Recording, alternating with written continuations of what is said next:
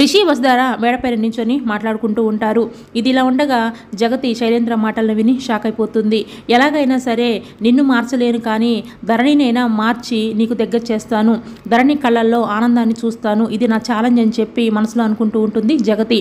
ఇక జగతి చాలా బాధగా రూమ్లోకి వెళ్ళి కూర్చొని ఆలోచిస్తూ ఉంటుంది. ఏంటి మేడం గారు ఎక్కడి నుంచి వస్తున్నారో? నిద్రపోకుండా అని చెప్పి మహేంద్ర జగతి పక్కన కూర్చొని జగతిని అడుగుతూ ఉంటాడు.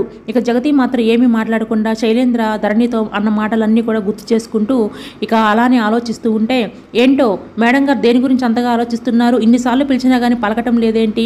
దేని గురించి జగతి అంతగా ఆలోచిస్తున్నావు అని చెప్పి మహేంద్ర అంటే ఇక జగతి అయితే ఏమీ మాట్లాడకుండా అలానే చూస్తూ ఉండిపోతుంది. జగతి జగతి అని చెప్పి పిలుస్తూ ఉంటాడు మహేంద్ర. ఆ మహేంద్ర చెప్పు అని చెప్పి జగతి చెప్తూ ఉంటుంది. దేని గురించి అంతగా ఆలోచిస్తున్నావు? మరలా ఏదైనా ఘోరాతి ఘోరాలు ఏమైనా జరుగుతున్నాయా? మనకే తెలియకుండా అని చెప్పి మహేంద్ర అంటే అది మహేంద్ర నేను నీకు ఒకటి చెప్తాను మరి నువ్వు నన్ను తప్పుగా అర్థం చేసుకోవద్దు అని చెప్పి జగతి అంటే అదేంటి జగతి ఎలా అంటావు? నువ్వే నా నమ్మకం కదా? నేను నిన్ను తప్పుగా ఎందుకు అర్థం చేసుకుంటాను? నువ్వేం చెప్పినా కానీ ఏం ఆలోచించినా కానీ కరెక్ట్గానే ఉంటుంది కదా? ఏం జరిగిందో చెప్పు. జగతి నాకు టెన్షన్గా ఉంది అని చెప్పి మహేంద్ర అంటూ ఉంటాడు.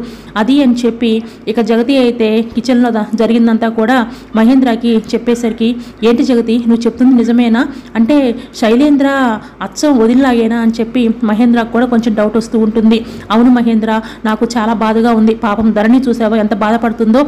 శైలేంద్ర రాకముందు ధరణి మనతోనే ఎక్కువసేపు స్పెండ్ చేసేది చాలా సంతోషంగా మాట్లాడేది. అలాంటిది తన ముఖంలో నవ్వే లేదు తెలుసా? కావాలంటే ధరణిని బాగా గమనించు మహేంద్ర అని చెప్పి జగతి చెప్తూ ఉంటే అవును జగతి నేను కూడా గమనించాను అని చెప్పి మహేంద్ర చెప్తూ ఉంటాడు. మరి ఇప్పుడు ఎలా జగతి అని చెప్పి మహేంద్ర అంటూ ఉంటే అదే మహేంద్ర నేను కూడా ఆలోచిస్తున్నాను. అక్కయ్యనే మార్చలేకపోయాము. ఈ శైలేంద్రని ఎలా మార్చుతాం చెప్పు అని చెప్పి జగతి చెప్తూ ఉంటే నువ్వు చెప్పింది కూడా కరెక్టే అని చెప్పి మహేంద్ర చెప్తూ ఉంటాడు. ఇంకొక విషయం మహేంద్ర అని చెప్పి జగతి అంటే ఇంకొక విషయమా? దేని గురించి అని చెప్పి మహేంద్ర ఆశ్చర్యంగా అడుగుతూ ఉంటే కాలేజీలో శైలేంద్ర రిషితో ప్రవర్తించిన తీరు అలాగే ఆ చైర్లో కూర్చోవటం మెడికల్ కాలేజీ మీ ఇద్దరం ఓపెన్ చేస్తూ ఉంటే ఆ ఇనాగ్రేషన్ అంతా కూడా చేస్తూ ఉంటే శైలేంద్ర ముఖంలో చాలా మార్పు కనబడింది.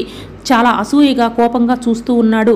నాకెందుకో శైలేంద్ర ఆ ఎండీ సీట్ కోసం ఆశిస్తున్నాడేమోనని అనిపిస్తుంది మహేంద్ర అని అంటే చాచా అలా అంటావేంటి జగతి? ఇప్పుడే కదా పాలన నుంచి వచ్చింది. తనకు అవన్నీ ఎలా తెలుస్తాయి అని చెప్పి మహేంద్ర అంటూ ఉంటాడు. తనకైనా ఎక్స్పీరియన్స్ లేదు కదా అని చెప్పి మహేంద్ర అంటూ ఉంటే లేదు మహేంద్ర శైలేంద్ర మీద ఒక కన్నేసి ఉంచు. ఎందుకంటే మన కొడుకు జీవితం అన్యాయమైపోతుంది తనకి కావాలంటే కాలేజీలో మంచి పదవినిద్దాము.